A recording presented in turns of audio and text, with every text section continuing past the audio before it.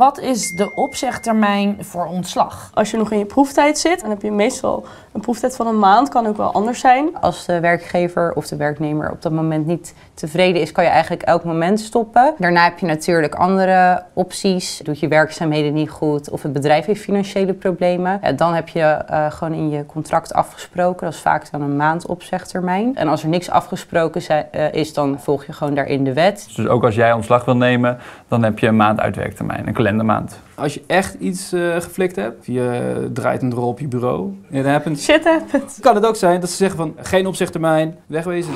Volgens mij kun je ook altijd nog met wederzijds goed vinden uit elkaar. Dan kun je opnemen volgens mij wat je wil of afspreken wat je wil over opzegtermijnen. Wel goed om te weten dat als je als werknemer aanspraak wilt maken op WW, mm -hmm. dan moet die maand opzegtermijn er wel in staan. Check hier nog meer afleveringen van What the Fuck of drop je vraag in de comments.